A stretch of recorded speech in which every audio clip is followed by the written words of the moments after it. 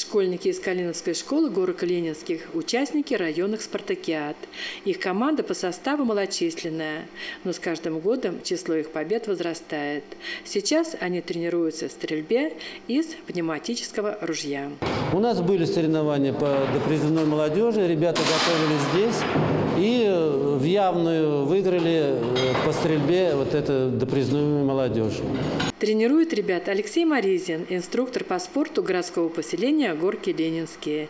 Он организовывает молодежь, убеждая, что спорт – это здорово, и ребята идут за ним. У нас э, нету детской спортивной школы в городском поселении, ни тренеров таких, как и любом случае, как инструктор должен помочь им в тренировках в любом виде спорта. Все вместе решили превратить школьный подвал в тир. Запланировали огородить его, сделать поуютнее, отремонтировать немножко и э, сделать вентиляцию, как положено, чтобы ученики уже занимались здесь э, постоянно. Здесь инструктор планирует обустроить и место, где будет содержаться зимний спортивный инвентарь. После стрельбы и чистки ружья, необходимого элемента точности полета пули, ребята отправляются на тренировку по баскетболу. Спортивная площадка в Калиновке – это своеобразный центр культуры и досуга. Сейчас осень, а летом сюда приходит вся деревня. Но вернемся к тренировочному процессу. Еще раз повторяю. Как обыграть? Вот, держи. Пас я получил. Сразу раз в руку, смотри, раз туда показал. Все, два шага. Алексей Моризин – профессиональный спортсмен.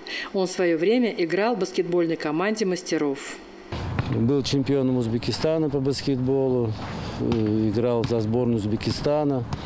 Потом э, занимался в легкой атлетике после баскетбола, можно сказать, параллельно. Э, был неоднократный чемпионом тоже республики. Э, на первенстве Союза в эстафете 4 по 400 стал чемпионом. Инструктором по спорту мастер трудится более 10 лет. За эти годы сборная команда за участие и победы в районных спартакиадах была награждена многими кубками и дипломами. Алексей Маризин имеет педагогическое образование, считает, что спорт для подростка – одно из важных составляющих успеха.